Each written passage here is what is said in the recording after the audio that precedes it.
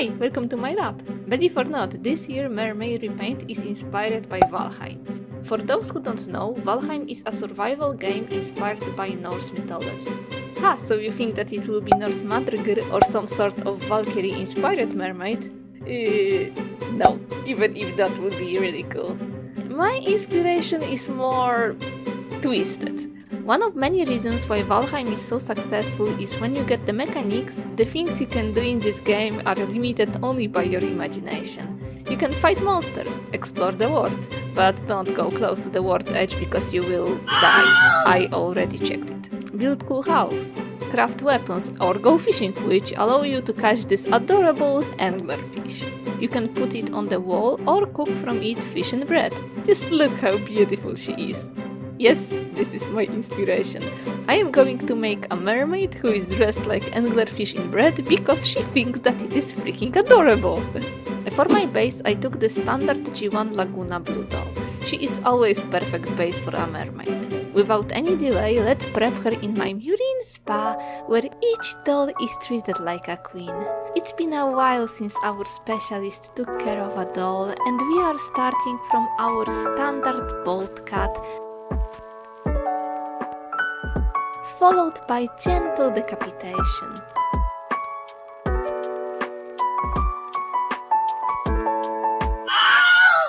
Abort mission! Abort mission! Okay, my specialist panicked, but sometimes this crap happens, especially when head is not warm enough and full of glue. I tried to remove the neck pack with pliers and it worked, but I had to boil the head in boiling water for a couple of minutes. Now we can back to the Murine spa and continue the treatment with brain extraction.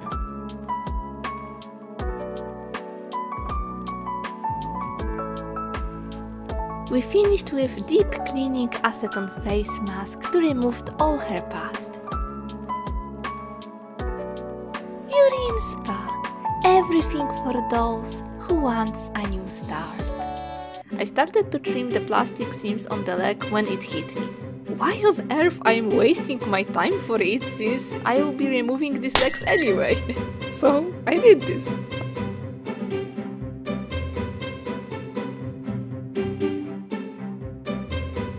Hands I got after my reverse mermaid repaint, I am one step closer from making a patchwork doll.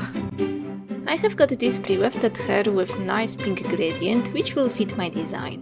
I painted her scalp neon pink so any possible gap in reroot shouldn't be visible. I added Liquitex matte medium to prevent the chipping. Yes, I am going for the reroot.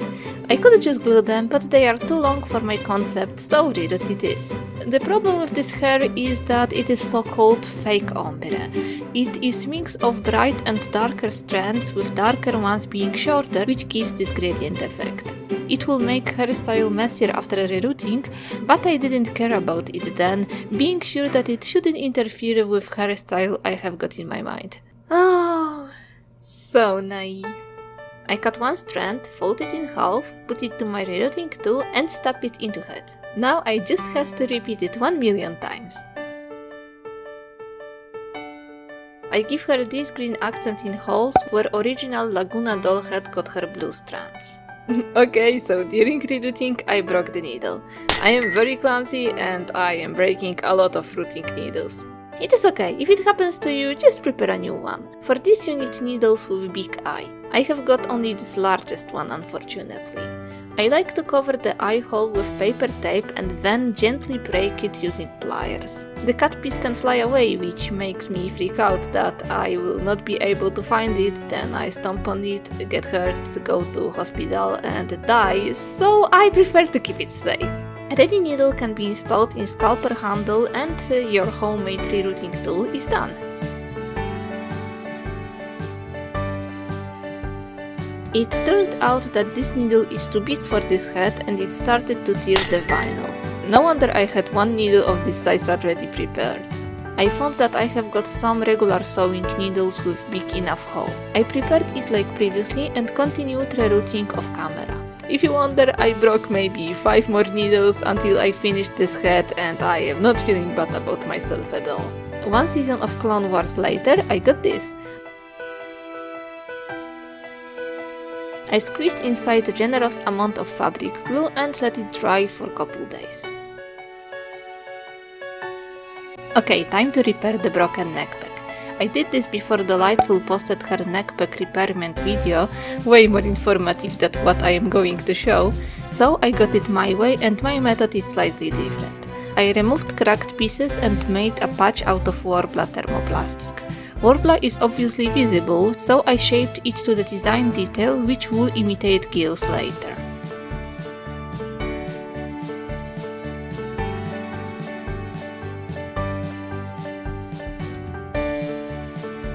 To install the fishtail, I drilled the hole in her pelvis. My drill is not the sturdiest. And put inside the wire which I twisted for better stability.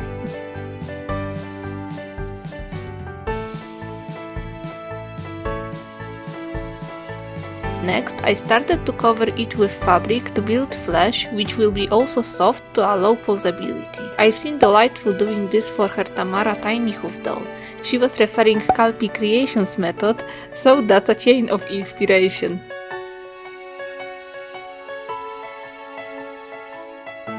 I covered her tail with kitchen foil and masking tape to make a pattern, which then I cut with seam allowances from faux leather.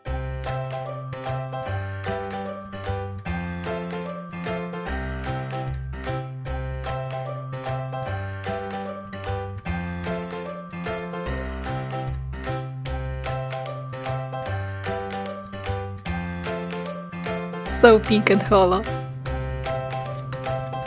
I sew the letter halfway through and flip it to the right side. The rest will be sewn later directly on the doll. Lagoona's arms are made from blue transparent vinyl, so to reveal it, I removed the paint with acetone. I saw this done by Mr. Super Custom and it looks so cool, so I had to do this. I did also something like this to my ghost fairy. I sanded her body and started to add some beads to her chest to cover the forbidden boobs, but later I removed it. It looked very cool, but I just realized that it was not the right moment for them. Next, I heated up small sausage from Worbla thermoplastic.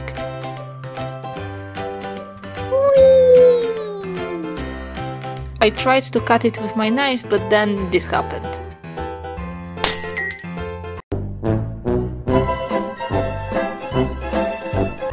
0 to 1 for Worbla this time. I heated up remaining pieces and put them to her shoulders.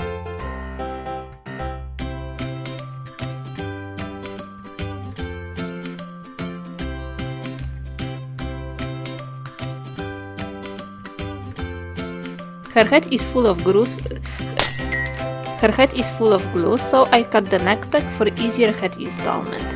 And she is ready for some paints. I started from painting her arms with transparent blue paint. I wanted to keep the transparent effect, but change a shade of it. But my airbrush didn't work as smoothly as it should. Uh... At some point, I decided to leave it as it is, hoping that these splashes of paint will give some more visual interest and texture. When it dried, I started to spray her full body and I finally noticed. My airbrush was so clogged that it barely worked. Finally, after 2 hours of cleaning, it worked as it should. I chose for her skin color this dark metallic paint. Later, I realized that metallic finish is not the best idea for base skin tone, but I am a magpie, I like shiny.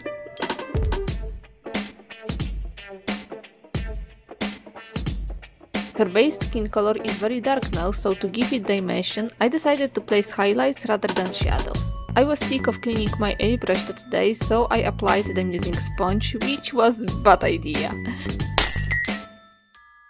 Sponge have got tendency to bring the shyness up from metallic paints, which is cool, but not always what we want. Here, I didn't want it. At some point, I painted over this mess with base color to do everything down and start over again. I tried to add some more shadows with black transparent paint, but overall I stayed mostly with base color with minimal contouring.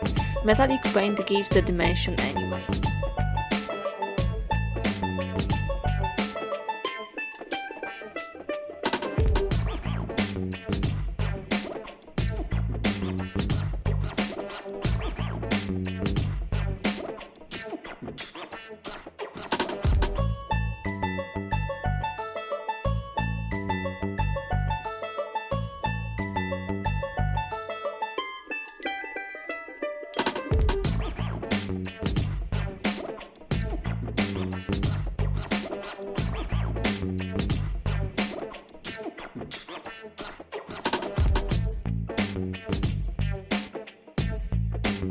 Here comes the ugly face.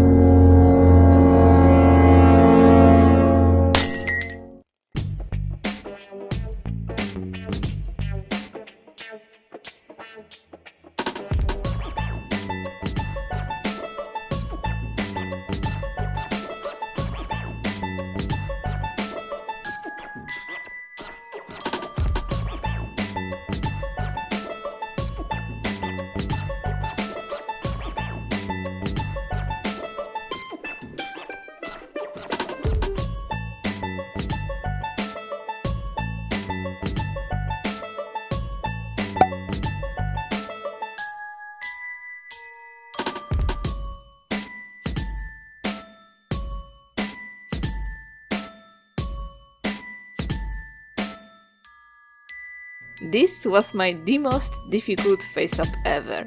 Last time I was so intimidated when I was painting Marinette's face up when it turned out to be piece of cake, while here I was completely chilled out expecting it to be fun experience, but it turned out to be a challenge.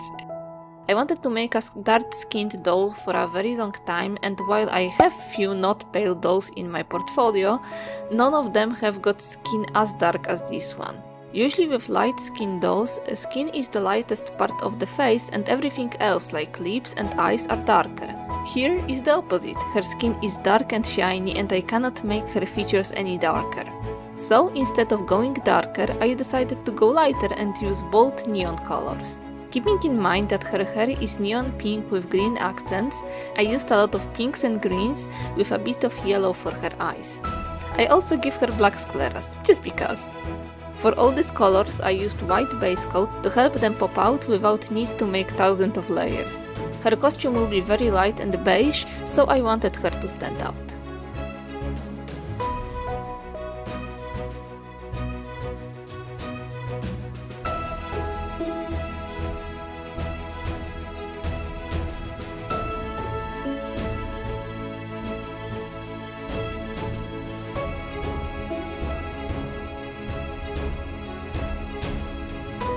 Time to finish off her body. I glued to her pelvis flesh material with hot glue and sewed to her her leather tail using ladder stitch.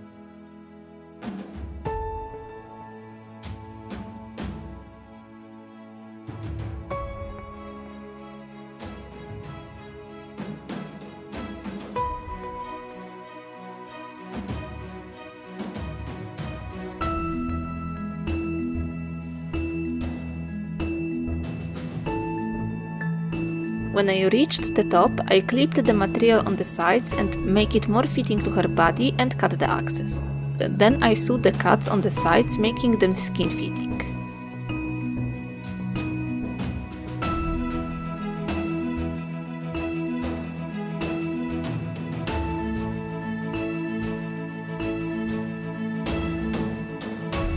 To finish it up, I glued the back with hot glue. I was afraid that sharp transition between her human and fish body will be awkward, but I like it that way. I removed her hair from the protective bonnet and she looks wild.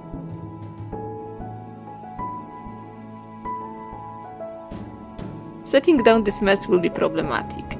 The easiest way to deal with this mess is pouring the boiling water over the doll's head, but it would activate Worbla on her body so I tied her hair with rubber bands and gently set them down with hair dryer, being careful enough to not hit the Worbla. And it looks like it worked. For now, I tied her hair in low ponytail, shorten a bit and cut some flyaways. Uneven length of hair starts to be a problem. Okay, so now it's time to glue these pearls to her boobies.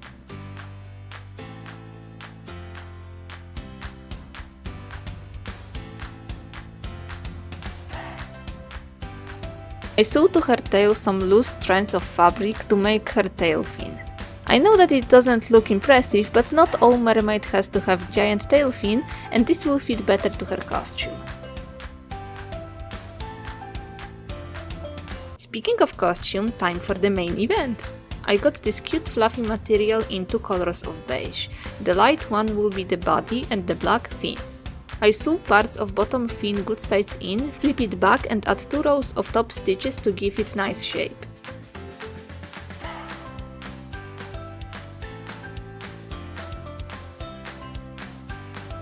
Next I sew main body, putting inside bottom fin and side fin on the sides, which will serve as sleeves.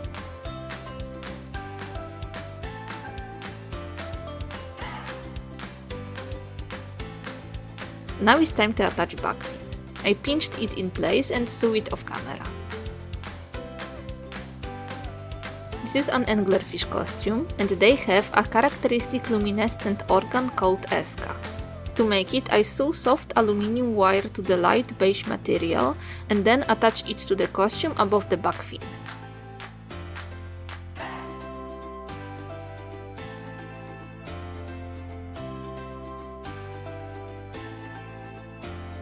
I sew to its end white pom-pom. I also add black pom-poms for the eyes. They look so goofy, I love it. For nice finish, I made a lining out of this muddy green fabric. I forgot to make a cuts for sleeves in lining, so they are fake now. Mouth is still not stable, so to give it shape, I sewed to it aluminium wire for scaffold and covered it with darker fabric for nicer finish.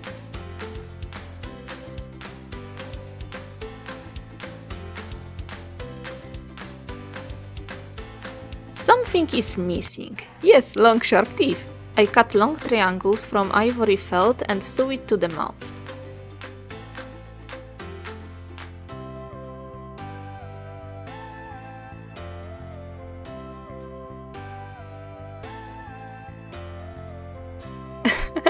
It wasn't in my plans, but now it looks like leech. Huh? Oh, a leech. It appears I've been chosen as this little fella's new companion. I graciously accept your friendship. I still wasn't a fan of her hairstyle.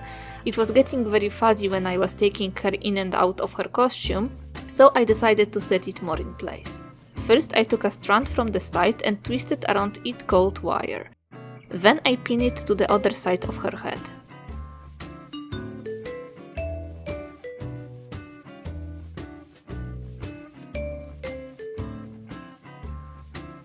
Then I made a net out of the wire and off camera decorated it with rhinestones.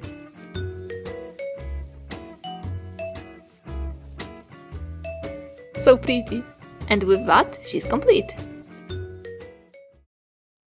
I think that she turned out really pretty. Even if my main goal was to make mermaid in costume, I wanted her to look pretty with and without her baked anglerfish outfit. I had so much fun with this concept. The only thing I would change is to give her some more Nordic features in her body paint to tie more her Valheim inspiration. I didn't thought about it then, but maybe next time.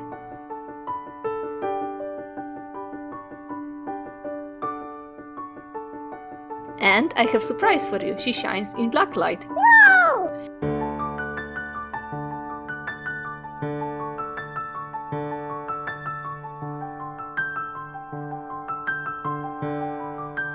And glows in the dark. Wow, that's amazing! And this is all for today. See you next time. Bye!